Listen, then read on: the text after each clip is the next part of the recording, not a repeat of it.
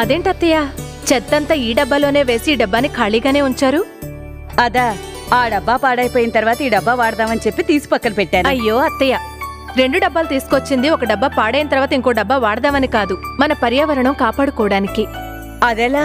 మనం చేయాల్సిందల్లా మన ఇంట్లో ఉన్న చెత్తను తడి చెత్తగా పొడి చెత్తగా వేరు చేయడం.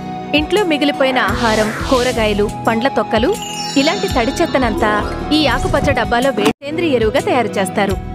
ఆ తర్వాత పగిలిన గాజు వస్తువులు ప్లాస్టిక్ కవర్లు ప్లాస్టిక్ డబ్బాలు వీటన్నిటిని పొడి చెత్తగా వేరు చేసి ఈ నీలం డబ్బాలో వేయడం వల్ల వీటిని రీసైక్లింగ్ చేసి కొత్త వస్తువుల్ని తయారు చేస్తారు. ఇలా చేయడం వల్ల చెత్త మాయమవుతుంది పరిసరాలు శుభ్రపడతాయి. అయితే ఈ రోజు నుంచి చెత్తను వేరు చేసి పరిసరాలను పరిశుభ్రంగా ఉంచుతాను.